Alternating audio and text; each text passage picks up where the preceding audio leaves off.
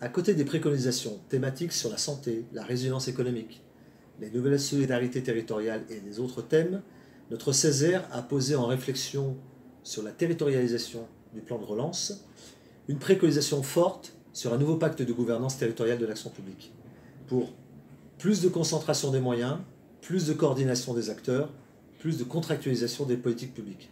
En effet, en partant des stratégies qui s'appliquent sur nos territoires, je pense notamment aux stratégies gouvernementales, aux stratégies outre-mer de l'État, aux stratégies de l'État en région et enfin aux stratégies des collectivités et des exécutifs locaux, nous avons repéré l'enjeu de concentration, coordination, contractualisation et nous proposons d'installer un cercle vertueux autour de quatre grandes étapes.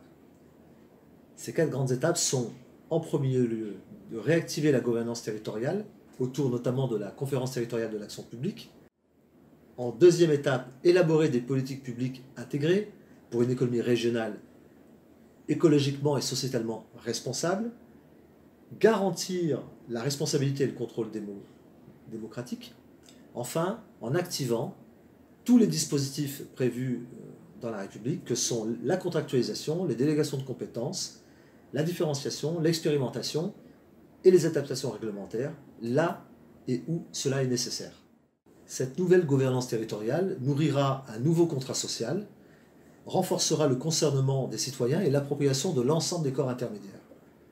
Ainsi, l'activation de ce pacte de gouvernance territoriale, à travers la conduite du plan de relance souhaité par les pouvoirs publics, permettra de nourrir trois enjeux. Le premier, renforcer l'État garant de l'unité de la nation.